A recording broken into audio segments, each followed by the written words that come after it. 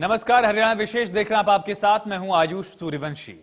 Corona संक्रमण से बचने के लिए नेता लगातार वैक्सीन लगवा रहे हैं और लोगों से भी वैक्सीन लगवाने की अपील कर रहे हैं। डिप्टी सीएम दुष्यंत चौटाला ने वैक्सीन का पहला टीका लगवाया। उन्होंने कहा कि भारत में बनी दोनों वैक्सीन सुरक्षित और प्रभावी है। सभी से आग्रह है कि कोविड से बचने के तरीकों का पालन करें और बिना किसी डर के वैक्सीन लगवाएँ। कैबिनेट मंत्री रणजीत चौटाला और सिरसा से सांसद सुनीता दुग्गल ने भी टीका लगवाया है। ये तीन तस्वीरें आप देख रहे हैं। नेताओं ने भी अब आगे आकर लगातार खुद को वैक्सीनेट करवाने की कोशिश को आगे बढ़ाया है।